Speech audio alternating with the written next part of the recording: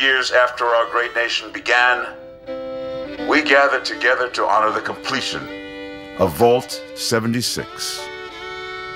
This sprawling underground shelter may have been engineered by Vault-Tec, but it was built by you.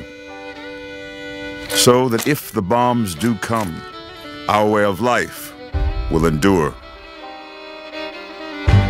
Almost heaven, West Virginia, Blue Ridge Mountains, Shenandoah River. Life is all there, older than the trees, younger than the mountains, blowing like the breeze. Country roads,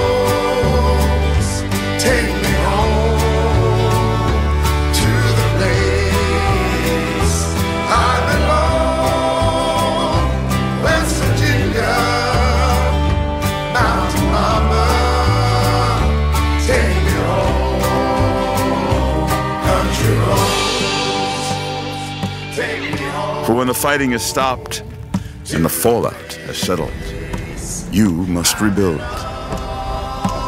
Not just walls, not just buildings, but hearts and minds, and ultimately, America itself.